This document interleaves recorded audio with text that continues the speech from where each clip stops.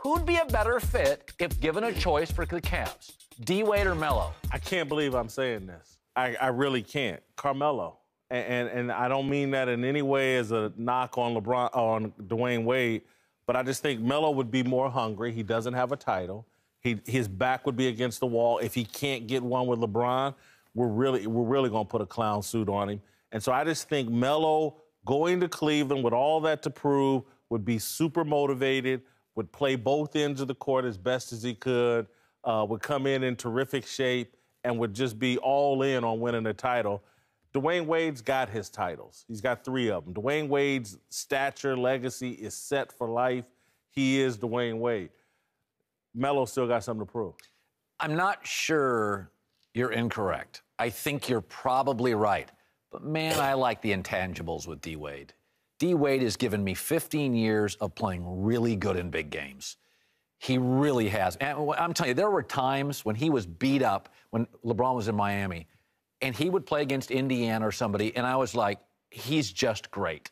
Now he may not be perfect for but today's you know, Melo, you think six nine, but Melo doesn't shoot threes particularly well. But he shoots them a lot better than Wade.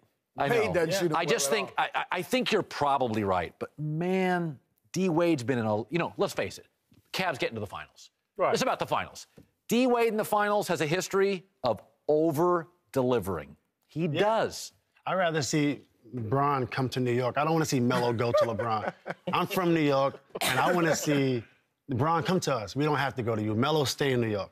Melo, you know Melo that's stay. not happening. You just better worry about keep, keeping Who would be a better fit in Cleveland with LeBron, Wade or Melo?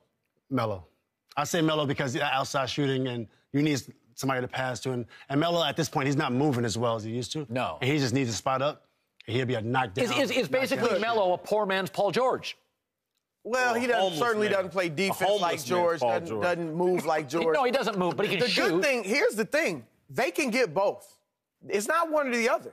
They could get both. If they're both of them bought get bought out, they both could easily go to Cleveland. See, Cleveland. I'd don't rather see both of them go to New York. I'd rather see Wade and Bron go to New York. and Paul George. I need too, a, I need a championship. But you know, all, bring them there all. is something to be said is that Melo's made his money and his legacy's pretty much intact.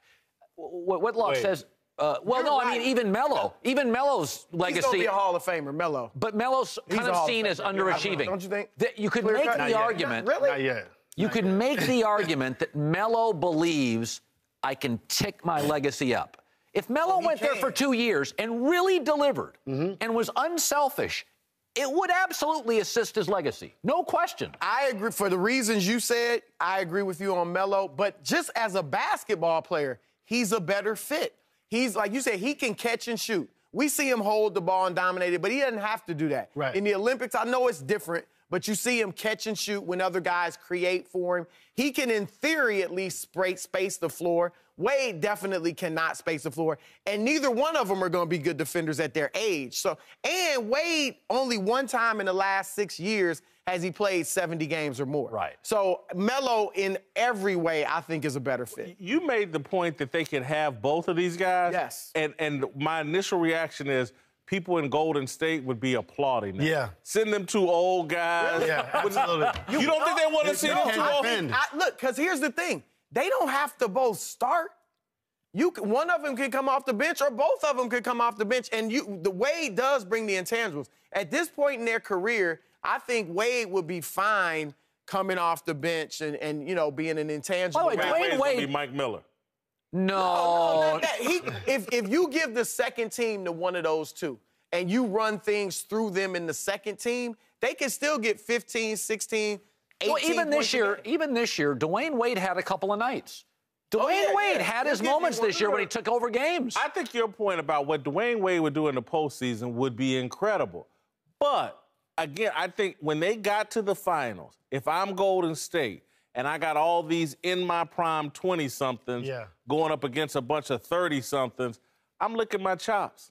Now, I, I don't see, I don't think you have, it's not like you're going to have LeBron, Wade, Melo. Right. And all those guys, Kevin Love, Kyrie. First of all, that's not a bad five right there. Um, but they all don't have to be on the court at the same time.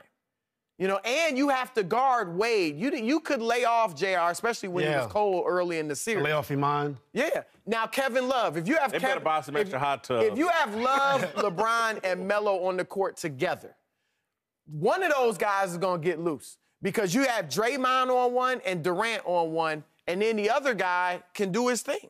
So there, I don't. I think it was this would missing be that good this for year. They was missing some confidence with uh, Jr. and Iman. They was kind of lost. a You never bit. know what you're so, getting from Jr. And Korver too. So at least Melo can bring Remember, something to the, the table. Cavs, when LeBron was on the court, went toe to toe with Golden State. It was the inability of the bench, plus minus. D Wade and Melo would make you one of the best benches in the league.